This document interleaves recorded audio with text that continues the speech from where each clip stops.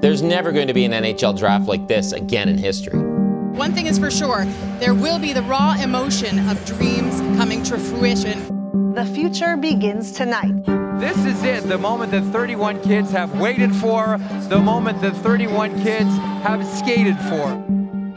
In this year of doing things differently, it goes without saying that it will be a bit strange this time around. No nervous players in the stands with flashy suits and fresh haircuts, flanked by friends and family as they await the moment their name is called. Vegas, baby. No greeting from the commissioner. You should be very proud of yourself. This is awesome. Welcome so to the much. NHL. Thank you. No new sweater to slip on.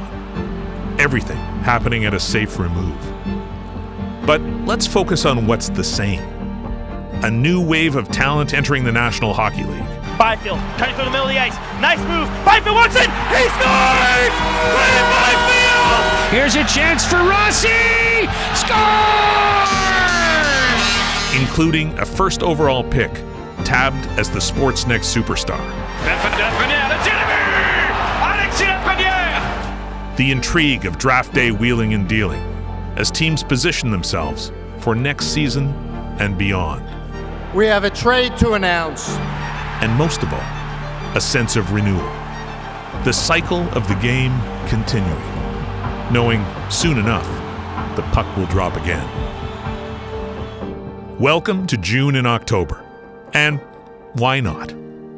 As long as someone is on the clock.